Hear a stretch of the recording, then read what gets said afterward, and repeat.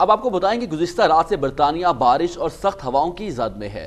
तेज हवा से मकानों की छतें ज़मीन पर आ गिरी। दरख्त गिरने की वजह से गाड़ियों को भी जुजवी नुकसान पहुँचा। इस हवाले से मजीद जानने के लिए देखते हैं बर्मिंगम से खावर राजा की इस रिपोर्ट में।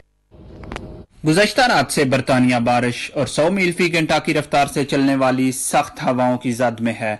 हवा के सख्त दबाव की वजह से कई मकानों की छतें ज़मीन पर आ गिरी।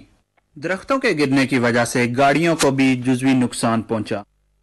ایم ٹوینٹی فائیو بھی درخت گرنے کی وجہ سے بند کر دی گئی۔ ایم فائیو اور ایم سکس پر بھی ٹریلر کے الٹنے کی وجہ سے ٹریفک کی روانی شدید متاثر ہوئی۔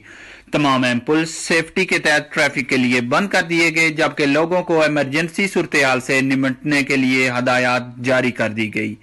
ہوا کا یہ دباؤ آج شام تک جاری رہے گا۔ Khawar Raja, Royal News Birmingham